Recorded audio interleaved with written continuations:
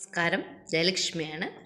അരിസ്റ്റലോക്കേസി കുടുംബത്തിൽപ്പെട്ട ആടുതൊട പാലയുടെ ശാസ്ത്രനാമം അരിസ്റ്റലോക്കിയ ബ്രക്റ്റിയേറ്റ എന്നാണ്. ആടുതൊട പാല വാത പിത്ത കഫദോഷങ്ങൾ നിയന്ത്രിക്കുന്നു.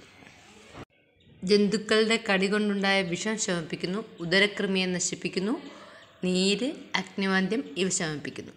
പ്രസവം ത്വരിതപ്പെടുത്തുന്നതിന് വളരെ ഉപകരിക്കുന്ന ഒരു ഔഷധമാണ് ആടുതൊടാപ്പാല. ചർമ്മരോഗങ്ങൾക്കും വ്രണങ്ങൾക്കും വളരെ നല്ലതാണ്. വളരെ പഴക്കമുള്ള വ്രണങ്ങളിൽ ഇതിന്റെ ഇല അരച്ചു പുരട്ട വ്രണം കരിയും എക്സിമ എന്ന ചർമ്മരോഗത്തിൽ ഇതിന്റെ കഷായം കൊണ്ട് കഴുകുകയും ഇല പൊടിച്ച് വിതറുകയും ചെയ്താൽ വളരെ വേഗം സുഖം പ്രാപിക്കുന്നതാണ്.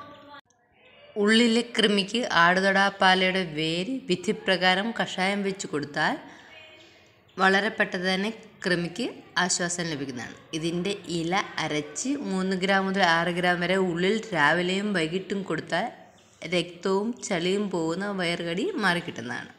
പ്രസവിക്കാറാവുന്ന സമയത്ത് ഇതിന്റെ വേര് പൊടിച്ചത് ഒന്നര ഗ്രാം എടുത്ത് വെള്ളത്തിൽ കലക്കി ഉള്ളിൽ കൊടുത്താൽ ഗർഭാശയം സങ്കോചിച്ച് പ്രസവം ത്വരിതഗതിയിൽ നടക്കുന്നതാണ്. ഗർഭാശയ സങ്കോചത്തിന് പ്രസവശേഷവും ഇത് കൊടുക്കാവുന്നതാണ്.